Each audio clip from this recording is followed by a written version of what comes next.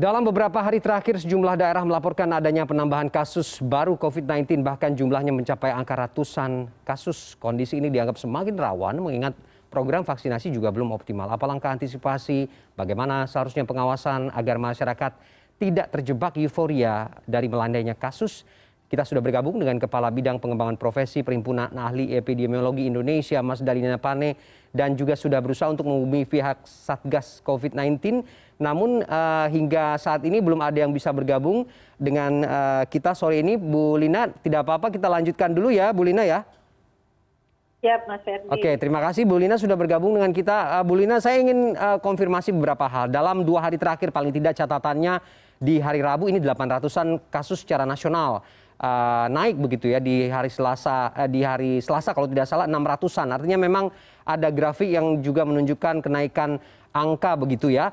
Uh, di satu sisi uh, kita memang dihadapkan pada situasi yang secara uh, umum uh, situasinya melandai, tapi ada euforia di sana yang kemudian berdampak dengan kenaikan ini. Bagaimana kita membacanya ini secara sederhana, Bu?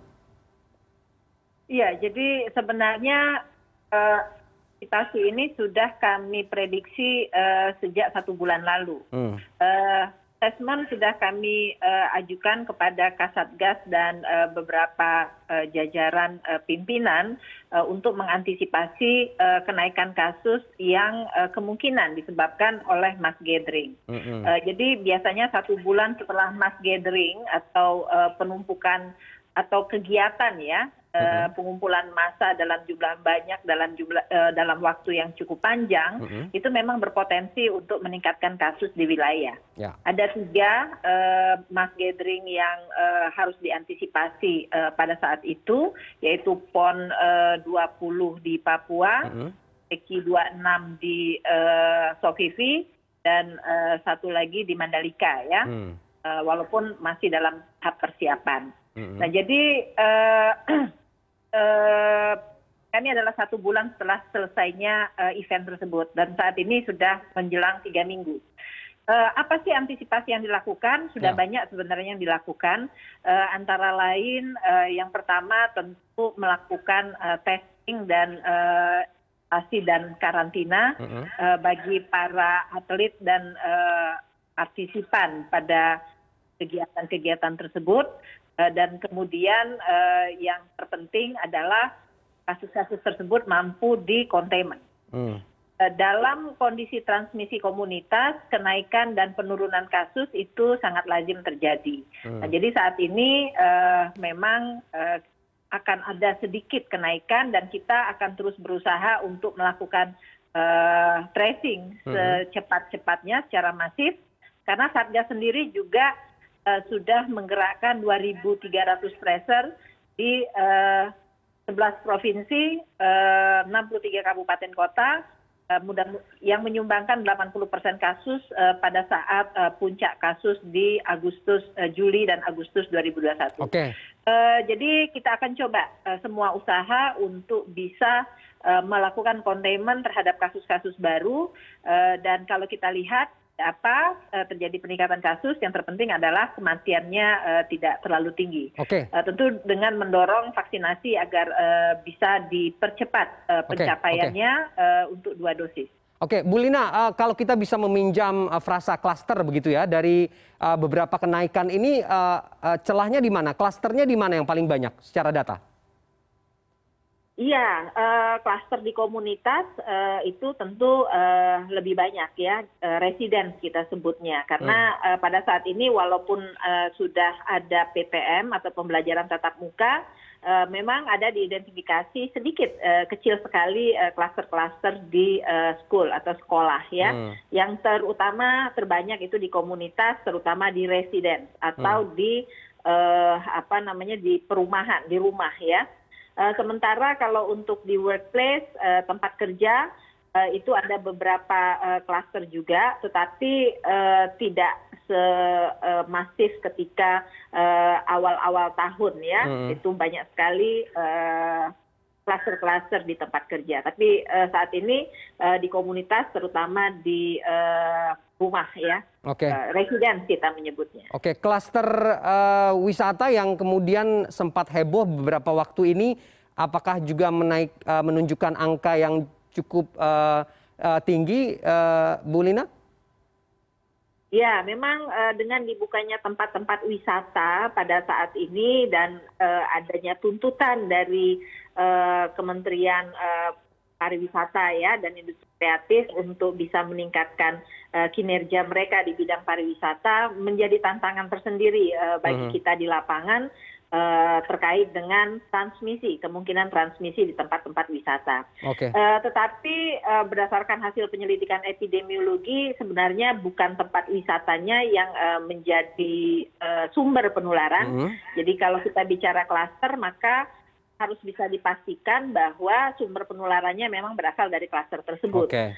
Uh, dan beberapa tempat wisata, terutama yang tertutup, itu uh, sudah mengaplikasikan uh -uh. dilindungi sebagai salah satu upaya untuk bisa uh, mencegah Eh, mereka mereka yang memiliki risiko tinggi untuk bisa masuk ke uh, wilayah tersebut yaitu kontak erat dan kasus konfirmasi. Jadi sejauh ini tempat-tempat wisata memang sudah berjalan uh, cukup banyak, mobilitas penduduk juga berjalan seperti biasa. Kasus memang ada peningkatan, tetapi mudah-mudahan ini bisa di containment sampai akhir minggu. Oke, uh, yang perlu kita konfirmasi juga soal komitmen sebenarnya ya, Bu Lina ya, karena pemerintah seharusnya juga uh, bisa menjawab ini soal bagaimana uh, yang Anda sebutkan di awal testing dan tracing ini begitu penting termasuk juga karantina yang kemudian kebijakan ini juga berubah-ubah yang membuat kebingungan tersendiri di tengah masyarakat. Uh, ini yang perlu ditegaskan lagi, komitmen-komitmen ini bagaimana memastikan bisa berjalan dan sampai ke masyarakat sehingga tidak tidak menimbulkan distorsi dan kebingungan lagi, Bu Lina. Apa kemudian komunikasi yang akan dijalin begitu dengan uh, pihak terkait soal ini? Iya, jadi koordinasi antar kementerian itu menjadi penting agar uh, satu suara di dalam uh, atau uh, proses pengendalian.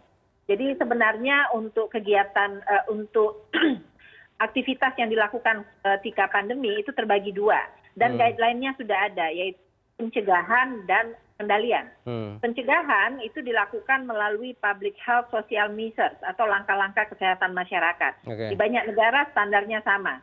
Jadi kalau di kita itu disebut sebagai 3M ya.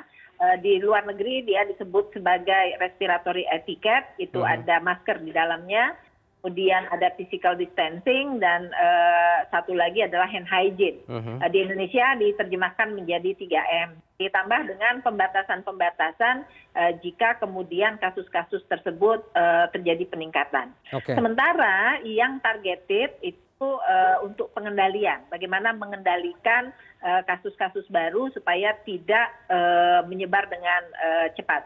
Eh, mhm. terutama adalah melakukan uh, pemutusan rantai uh, penularan melalui containment atau isolasi dan karantina. Uh-huh. Nah terkait dengan uh, testing dan tracing uh, itu memang merupakan inti utama di dalam pengendalian sebenarnya. Uh-huh. Walaupun uh, mungkin ke depan dengan semakin banyaknya jumlah uh, masyarakat yang divaksin, kita harus melakukan redefinisi terhadap uh, karantina. Beberapa negara sudah membuat eh, tangan karantina tapi dengan persyaratan cukup ketat. Antara lain pertama jika kontak erat itu kontak dengan kasus konfirmasi tanpa gejala. Ditambah dengan uh, dia sudah divaksin selama uh, dua dua dosis uh, maka CDC menyatakan uh, mereka uh, sebenarnya tidak uh, membutuhkan karantina uh, tetapi Eh, harus dimonitor selama 14 hari dan tetap melakukan uh, eh, PHSM atau uh, hmm. 3M lah kalau di kita ya.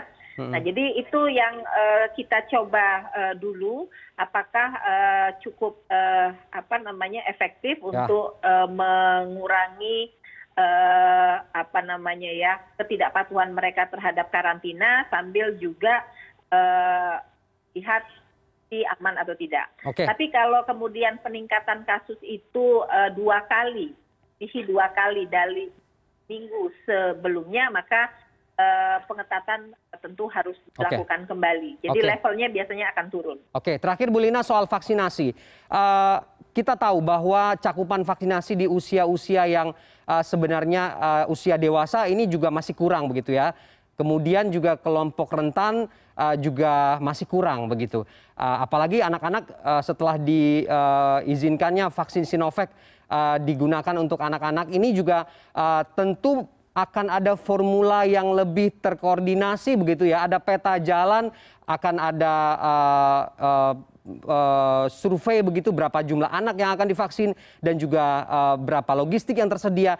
Ini sudah siap formulanya, Bu. Karena yang sebelum-sebelumnya aja cakap, cakupan vaksinasi belum belum lengkap begitu. Bagaimana kemudian uh, membuat ini menjadi terstruktur sehingga tidak ada celah lagi begitu?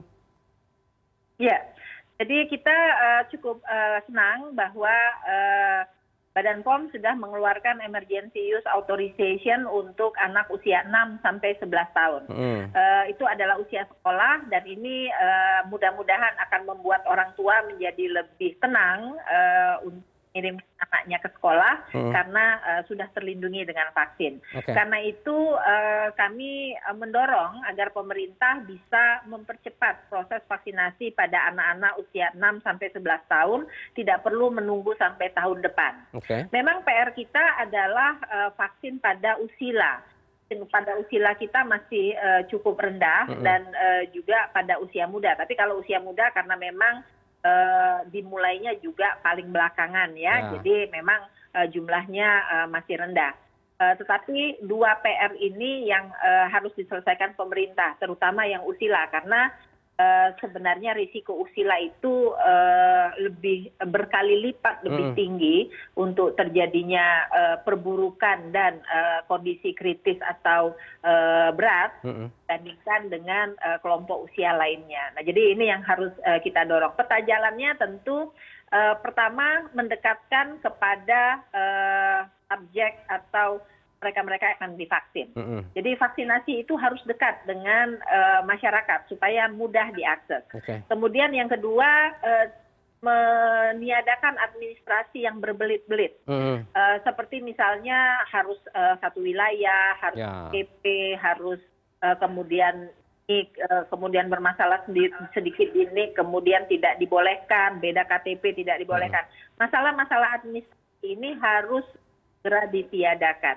Karena itu yang menghambat masyarakat kemudian yang sudah ya. memiliki namanya momentum memiliki keinginan untuk uh, divaksin kemudian uh, motivasinya menjadi turun lagi karena urusan administrasi. Oke, artinya tidak hanya fokus PR-PR itu diselesaikan di pusat saja atau daerah-daerah yang uh, memang menjadi uh, fokus uh, pencegahan untuk uh, terjadinya penularan yang lebih tinggi, tapi juga di daerah-daerah lain di seluruh Indonesia yang kita tahu juga secara angka masih juga terjadi peningkatan kasus.